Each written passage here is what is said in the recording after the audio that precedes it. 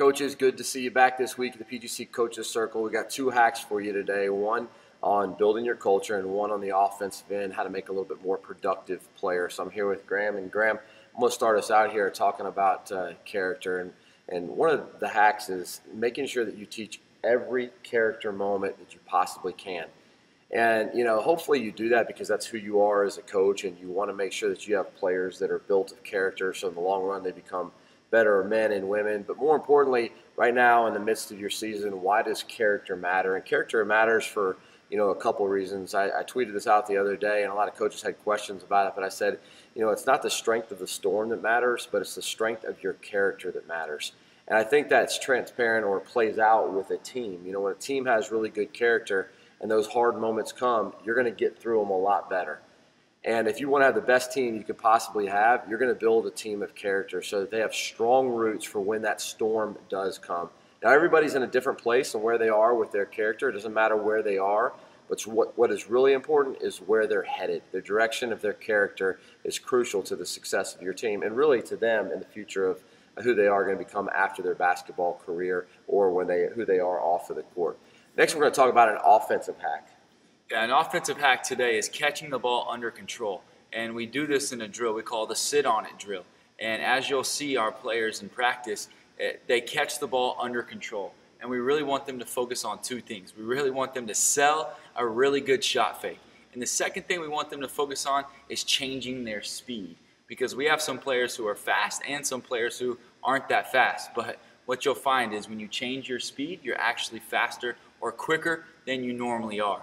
And so we're focusing on those two things as well as having our players play under control so they don't travel, so they don't get carried away right into a turnover. And you'll see that within our sit on it drill. Yeah, and there's you know multiple facets to this drill right here. Even though it is so simple in what you're doing, just having players catch and sit on it, like all the things you alluded to, their quickness and uh, lowering turnovers, which is often the difference between winning um, and losing. But uh, making players better offensively, helping them to every time they catch be a threat. When you threaten the defense, you're going to get different looks than when you don't threaten the defense. So let's take a look.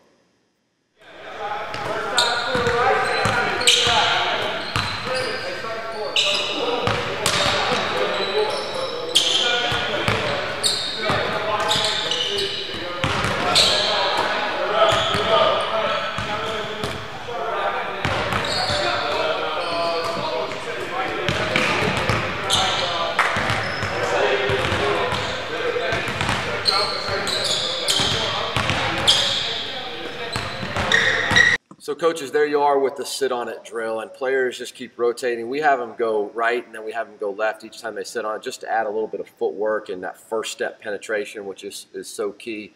Uh, but they're just constantly sitting on their catch.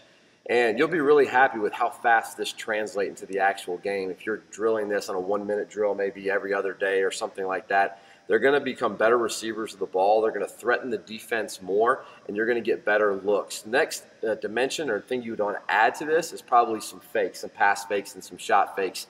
But if you can get them to get that half second to one second pause, they're going to play with a lot more control and put a lot more pressure on the defense. And finally, just wrap it up with one more thought about character. As you're working through each one of those moments with your players, the impact that you're going to have is obviously so important on them and the future of who they're going to be. And that's why you can't let those things go. There's a lot of things that are going to happen over the course of the season that are really teachable moments that are going to impact their character and in turn impact the character of your team, which is going to make you stronger with deeper roots and a better basketball team.